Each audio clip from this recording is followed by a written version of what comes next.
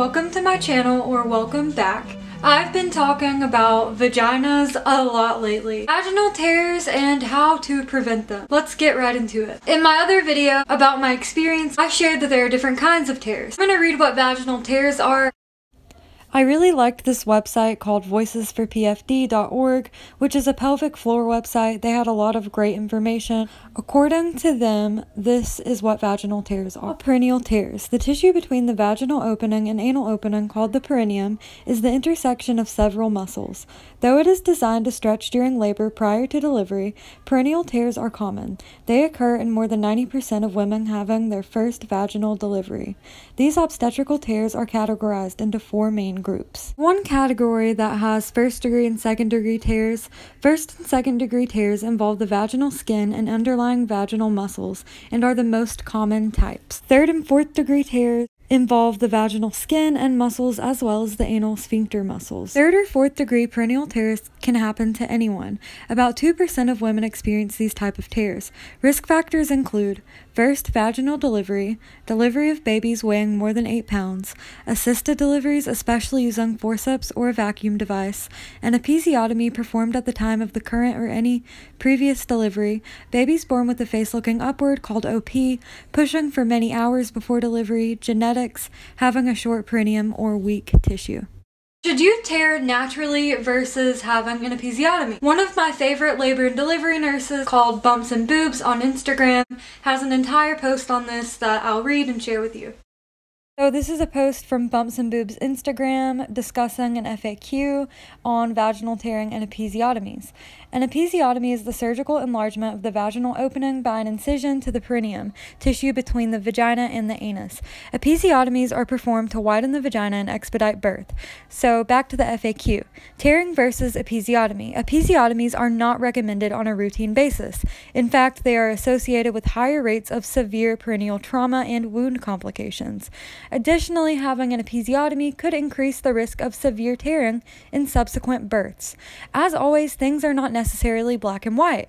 According to Up to Date, there are a few instances where an episiotomy may be helpful. Some examples of those situations may be during the need for expedited delivery, i.e., baby is in distress during operative vaginal delivery, or during a shoulder dystocia. Important, your provider should always obtain consent prior to performing an episiotomy. Nobody should ever touch or cut your perineum without permission. All info obtained from Up to Date Approach to Episiotomy, April 2019.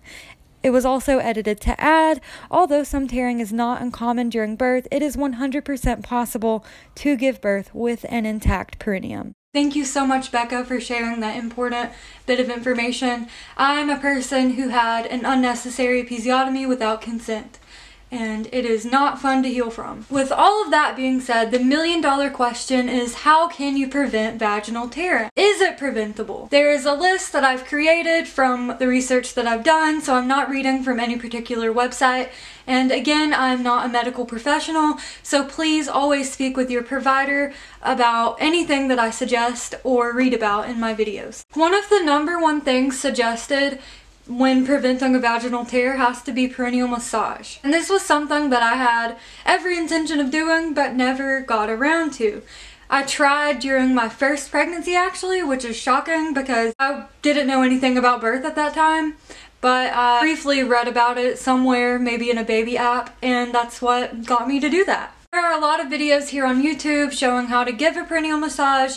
You can do it, but if you can't reach your partner or someone that you are comfortable with can help you with this. A perineal massage during pregnancy helps create elasticity around the opening of the vagina. This is done with coconut oil maybe or a lubricant that you are comfortable with using and works well with your body so it doesn't cause yeast infections and things like that. Use two fingers and rub the bottom part of the vaginal opening or perineum. Your provider may also do this while you're pushing and again I personally think that this is something that a provider should gain consent from you to do and you should decide whether you're comfortable with it or not.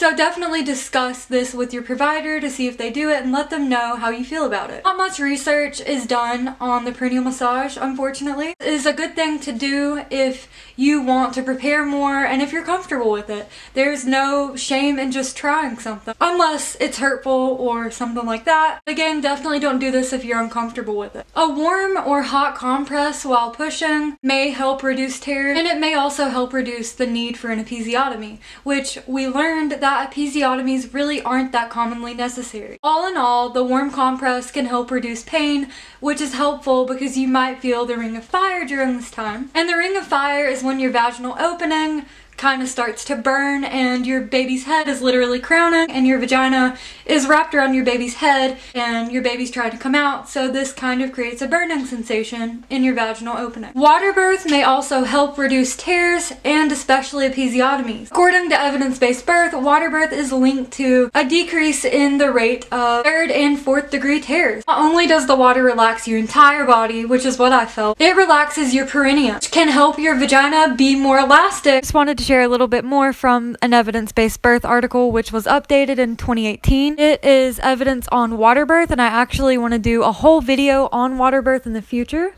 It just shares a little bit more on vaginal tear. According to evidence based research, water birth can help you have a normal vaginal birth. And again, that includes lower rates of episiotomy, higher rates of intact perineum, especially in high episiotomy settings, with possibility of lower rates of severe tearing.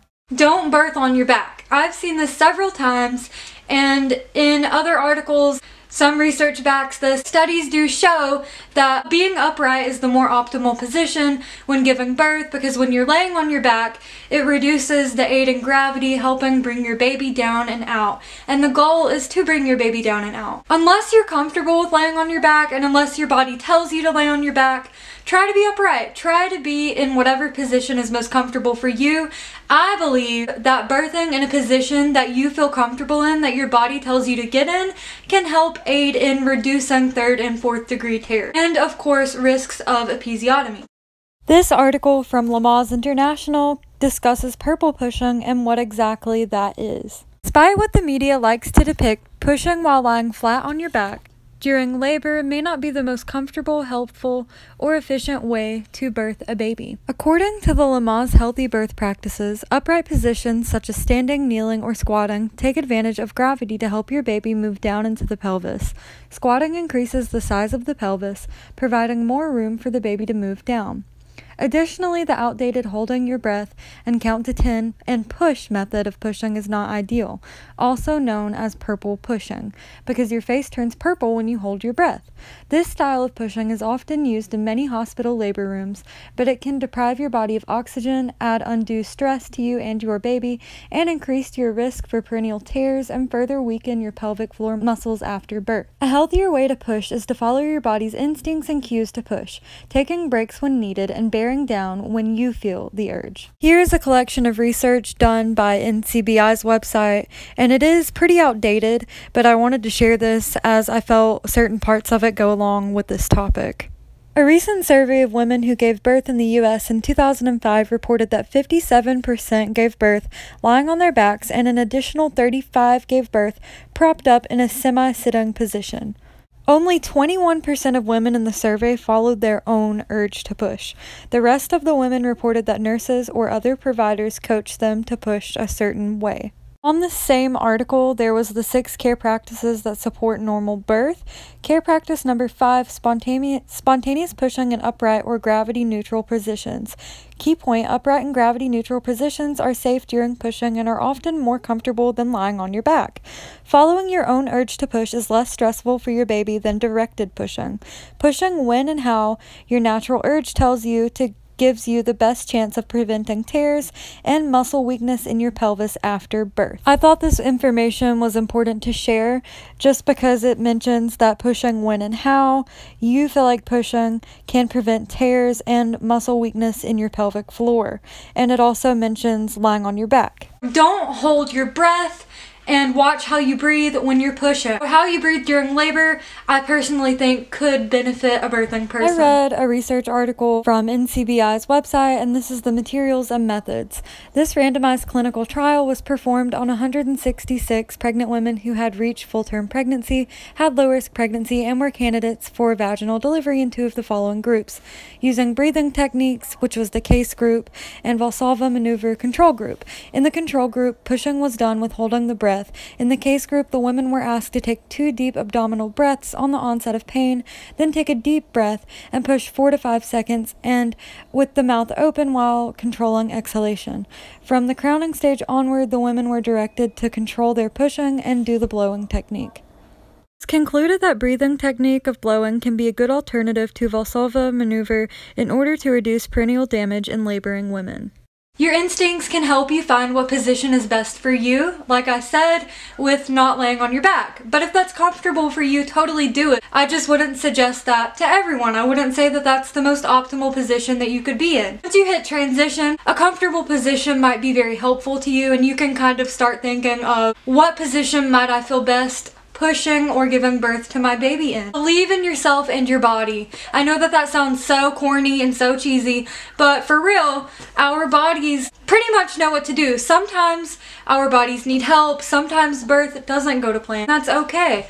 But most of the time our bodies know what to do and other things kind of get in the way. Make sure that you have a supportive birth team that supports you, that are gonna cheer you on rather than discourage you. And remember that it can be common for first time parent to tear. Have birth preferences, but know that birth can change sometimes. Please remember that an episiotomy should always be done with consent unless there is just some sort of emergency where it absolutely needs to be done. I honestly didn't even feel myself tear with my second child because everything happened so fast. I think I felt the ring of fire, which was her crowning in my vaginal opening, more than I actually felt the tear thought that it would be really important to share this article from Evidence Based Birth about pushing because what I experienced, I actually believe was fetal ejection reflex, and Evidence Based Birth briefly mentions that in this article. In some unmedicated births, the active pushing phase may be more accurately described as the fetal ejection reflex, where the mother waits for her baby to descend and then her body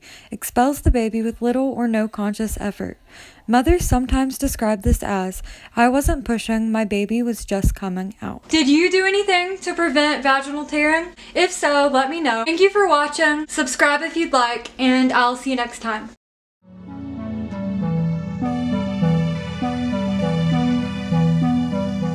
Don't forget to check out Bumps and Boobs on Instagram.